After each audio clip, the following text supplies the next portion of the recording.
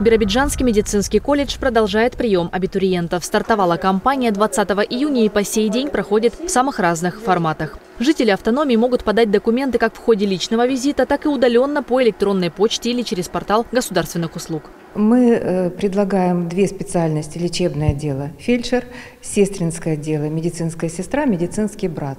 У нас несколько увеличено количество бюджетных мест – 66 лечебников, 66 медсестер.